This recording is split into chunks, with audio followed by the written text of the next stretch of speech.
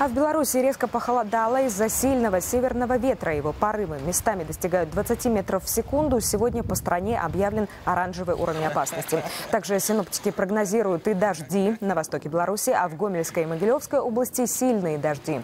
Накануне в Гомеле после затяжной жары прошел настоящий ливень, а в Брагине за последние сутки выпала треть месячной нормы осадков.